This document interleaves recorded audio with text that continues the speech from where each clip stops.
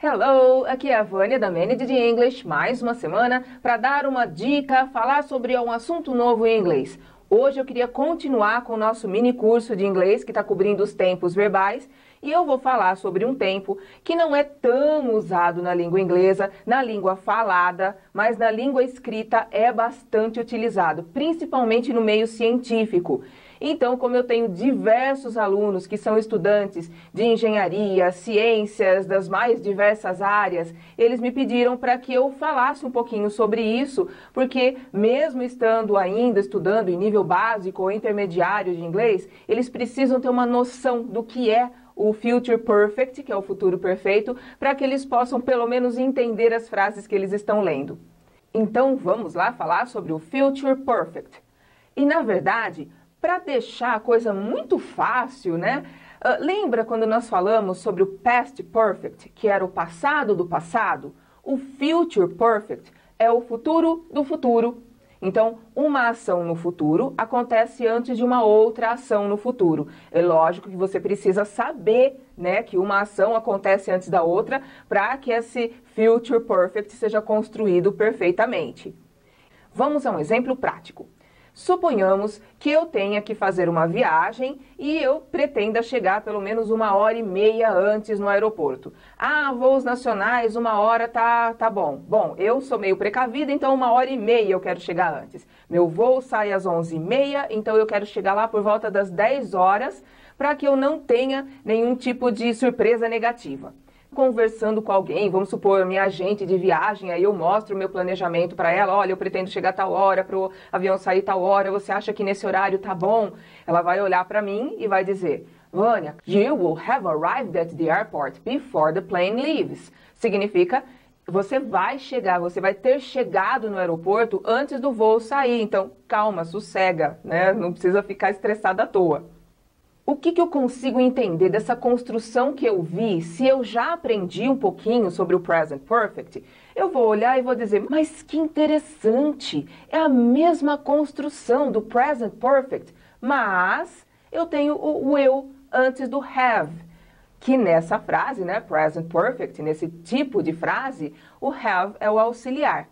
Ah, eu vou poder usar o have ou has? Não o que, que eu aprendi do will, que é futuro? Quando eu uso will, que é um modal também, né? A gente chama de verbo auxiliar, mas é um verbo modal. Ele vai aparecer antes do verbo e o verbo vai ser obrigado a ficar no infinitivo. Então não tem como conjugá-lo has, porque ele é obrigado a ficar no infinitivo have.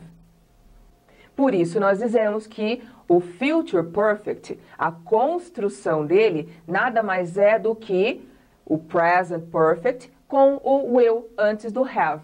Pronto, tá feita a estrutura do future perfect. Agora, quando usar, vamos aprender. Se você tiver alguma dúvida sobre o present perfect, se acabou de entrar no nosso canal e caiu de paraquedas já no future perfect, eu vou deixar um link aqui para que vocês assistam primeiro esse vídeo específico sobre o present perfect e aí vocês voltam e continuem assistindo esse.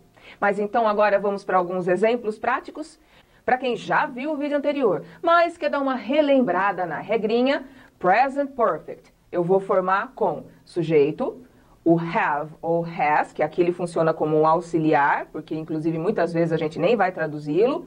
Na frente vem o verbo no particípio passado. Para quem não se lembra, particípio passado, quando você pega aquelas listas de verbos irregulares, Primeira coluna é o verbo no tempo presente, segunda, passado, terceira, particípio passado, falado, cantado, comido, dançado e assim vai. E depois disso, você vai pôr o complemento que você quiser. Exemplo prático: I have finished my homework.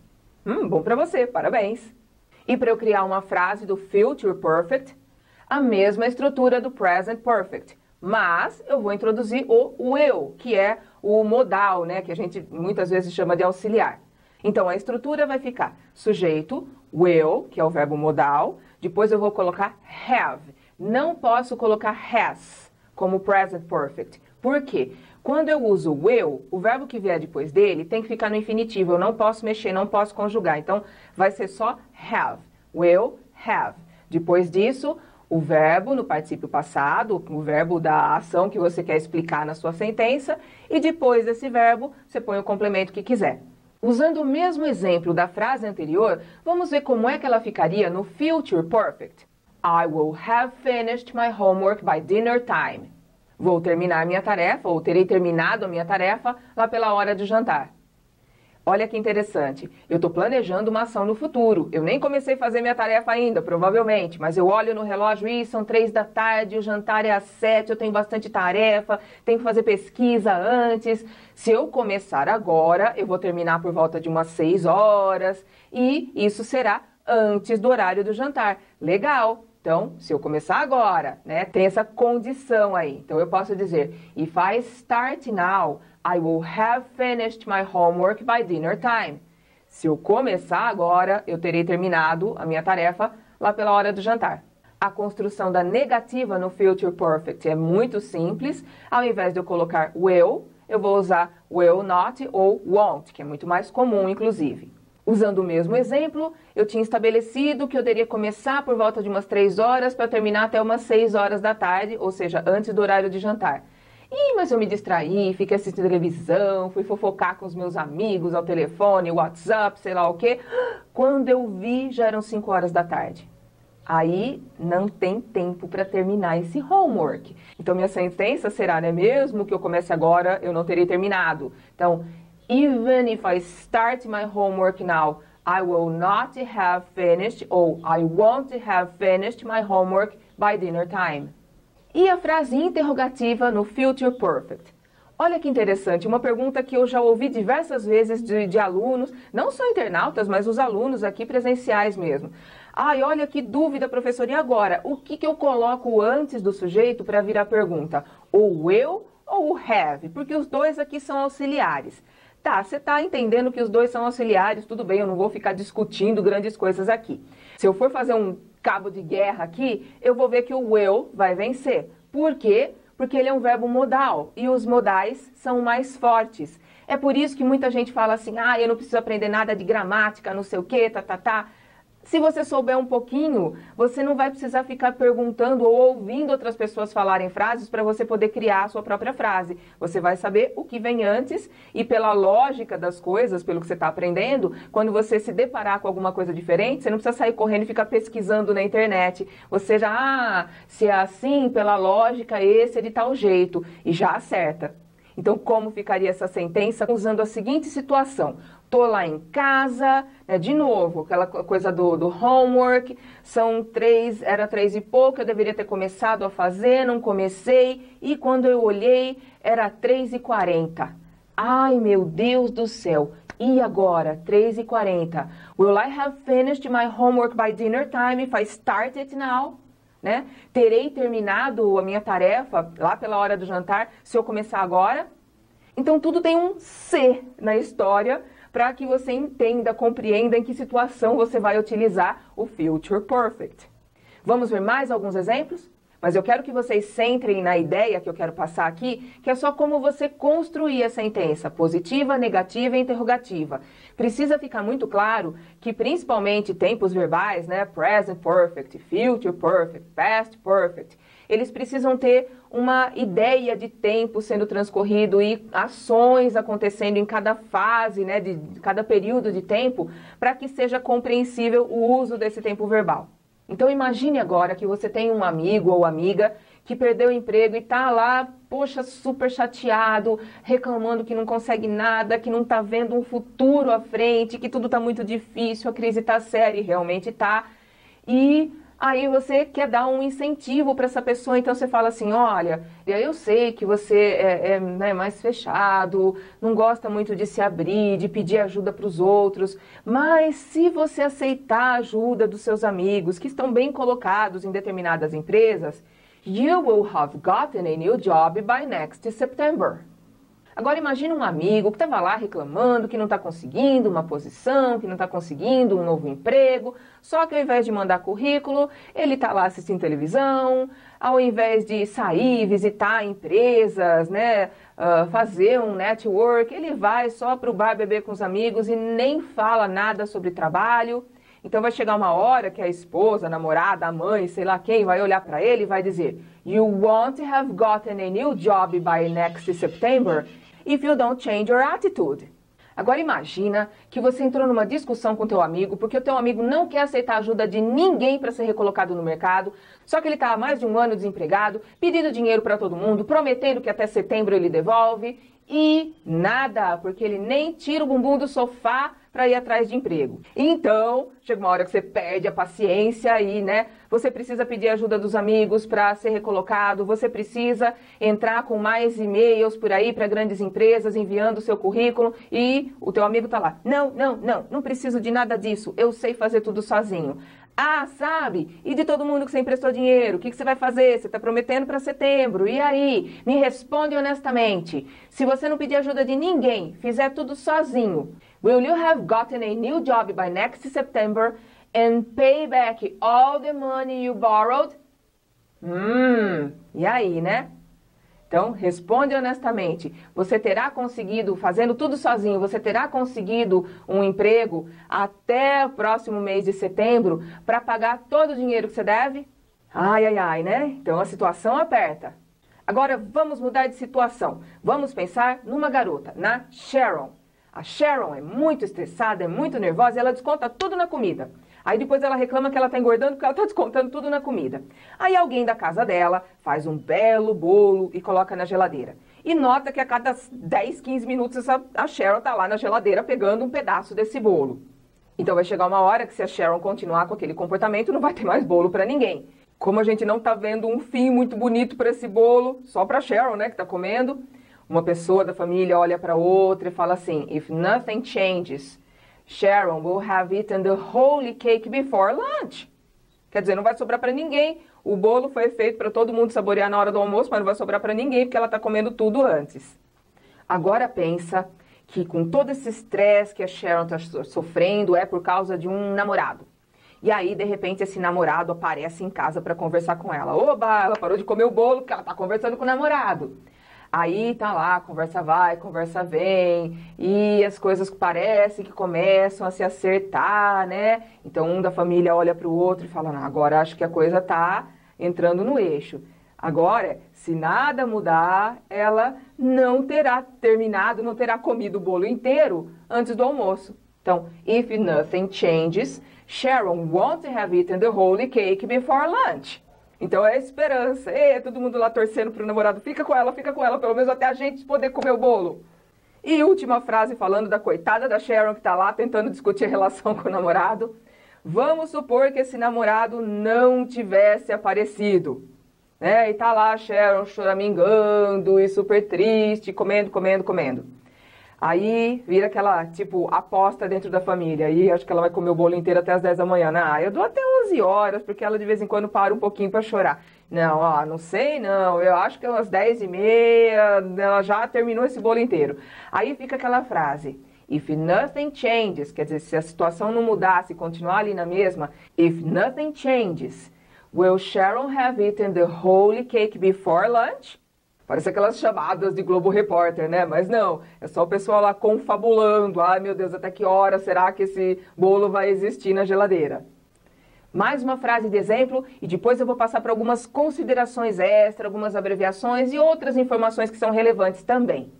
Nessa situação, o filho ou a filha adolescente tem que arrumar o quarto, mas não arruma. Passa dia, passa semana e aquele quarto tá parecendo um lixão central e nunca esse quarto é arrumado. Então chega um ponto que o pai ou a mãe dá uma um desafio assim, ameaça a pessoa. Se você não fizer tal coisa, eu vou fazer isso. Ou se você não fizer tal coisa, eu também não vou deixar fazer aquilo.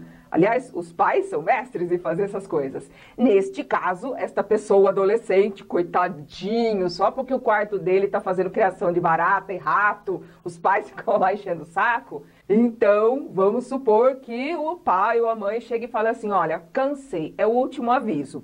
Agora vai ser o seguinte: se você não limpar o seu quarto e eu chegar do serviço com este quarto ainda bagunçado, eu vou contar o segredo X, né? Eu vou contar para todo mundo que você está apaixonada por fulano, todos os seus amiguinhos vão saber, ou eu vou, vou contar que você com 14 anos de idade ainda faz xixi na calça, eu vou contar que você ainda chupa chupeta, sei lá, vai contar algum segredo seu.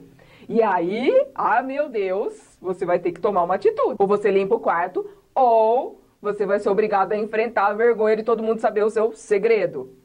Como é que essa frase vai ficar em inglês se de repente você estiver lá pensando, confabulando consigo mesma, você adolescente, ou está conversando com, com teu irmão, né, que também está em casa. If I don't clean my room by this time tomorrow, my parents will have told everyone my secret. Oh my goodness, que vergonha. Mas pode ser que você seja um daqueles adolescentes que pagam para ver, né? Então, você não vai arrumar seu quarto. O pai falou para você arrumar, se não arrumar, ele vai sair contando para todo mundo, você vai xixi na cama. E aí, o outro vem e fala: "Ha, duvido. By this time tomorrow, my parents won't have told anyone my secret. They love me." Né? Eles me amam, eles não vão contar. E de novo, com a previsão da ação adolescente, ah, tá, mais tarde eu limpo. E aí, tá lá deitado no sofá, assistindo televisão, ou tá brincando na internet. Quando ele vê, já são 5 e meia da tarde e os pais chegam às 6 horas e o quarto tinha que estar arrumado, só que o quarto precisa de umas duas horas para arrumar. Ai meu Deus, e agora? Se eu começar agora, eles vão ver, eles vão chegar, eu não vou ter terminado ainda, mas eles vão ver que eu tô arrumando. Então fica aquela dúvida. If my parents see me cleaning the bedroom now, by this time tomorrow, will they have told anyone my secret? Ai, ai, agora é pagar para ver, né? Começou atrasado, o problema é teu. Informação extra agora, para quem já é nível intermediário, avançado, precisa aprofundar mais os conhecimentos, saber mais a fundo, né? Quando, como usar, quais são as situações que podem ou não, que verbos podem ou não. Isso, como eu disse, é um assunto para intermediário avançado. O meu papel aqui é mostrar quando esse future perfect pode ser usado, com que tipo de verbo. Então, quando você tiver verbos não contínuos ou um uso mesclado de verbos não contínuos, você utilizará o future perfect. O que, que é isso? Verbo não contínuo? Você pode pesquisar no Google ou aguardar até um vídeo do Steve que fale sobre esse assunto específico, que é para intermediário avançado, e a aula será dada em inglês. E que outros verbos eu também posso usar no Future Perfect? Live, work, teach, study. Então, se você tiver esses verbos, sendo ou não, não contínuo, né, não contínuos, você pode utilizá-los. Abreviações. Você está vendo na tabelinha aqui do lado que existe uma abreviação em laranja, que é a maneira como a gente, como o, o, o nativo, quando ele está falando muito rápido, ele vai juntar tudo isso aí. Agora, quando ele está falando mais devagar, ele não junta dessa forma. E hipótese alguma é para escrever dessa forma. Assim como a gente não escreve cetaí, pelo menos não deveria escrever, também não é para escrever dessa forma abreviada. Mas ao falar rápido, é esse som que acaba saindo da, da boca do falante. Então, I will have, I've. You will have, you've. E assim vai. Mas você não é obrigado a falar desse jeito. Se você não fala inglês direito ainda, não vai tentar juntar tudo, fica muito feio. É a mesma coisa que uma pessoa que não sabe dirigir querer sair a mil por hora. Não vai conseguir, vai bater o carro, vai ficar feio. Então, fala devagar, vai aprendendo aos poucos e aí depois você vai aumentando a velocidade. Não se importe se alguém está reclamando que a sua pronúncia não é boa, que não é igual de um americano. Você não é americano, por isso você não precisa falar com o mesmo sotaque de um americano. Você não vai provavelmente conseguir fazer isso. O que você pode fazer é falar com a melhor pronúncia possível para que as pessoas te compreendam. E a menos que a pessoa que esteja te corrigindo seja um nativo que esteja realmente querendo te ajudar ou seu professor, não se importe com a correção dos outros, porque a maior parte vai te corrigir por inveja, porque você está conseguindo chegar num nível que eles não estão. E a abreviação da negativa? Na negativa, eu posso falar I will not have, ou então will juntar com not vai ficar I won't have. E também tem aquela abreviação na hora de falar, só de falar, não é para escrever assim, pelo amor de Deus, que é o wanted. Mas para ser sincera, eu perguntei sobre esta pronúncia específica para o meu marido e para algumas pessoas da família dele e eles me juraram que não falam desse jeito. Então, talvez em alguns países eles usem essa junção, em outros não. Ou algumas famílias, dependendo de classe educacional que ela tenha, vai falar dessa ou daquela maneira. Quanto mais baixa é a, a classe educacional dela, mais junções estranhas, mais abreviações você encontrará. Geralmente, quem tem uma educação melhor vai falar mais pausado, mais, mais separado. última consideração, também para estudo com o Steve, será sobre o shall. O will, em muitos casos, poderá ser substituído por shall. E eu já li em livros e ouvi em entrevistas a pessoa usando shall no future perfect. Porém, esse modal shall só pode ser usado se eu tiver o sujeito I, eu, ou we, nós. Esses dois sujeitos são os únicos que poderão fazer uso do shall. Alright? Essa é a aula de hoje. Se vocês gostaram da dica, da explicação que eu dei, se vocês acham que essa aula pode ser útil para você, para algum amigo que esteja passando por entrevistas, por provas de inglês, né, até vestibular, deixa o seu curtir no YouTube ou no Facebook. Aproveita se você não está seguindo a série de vídeos, clica aqui do lado, siga a série do YouTube, assim toda vez que nós lançarmos um vídeo novo, você recebe um e-mail de aviso.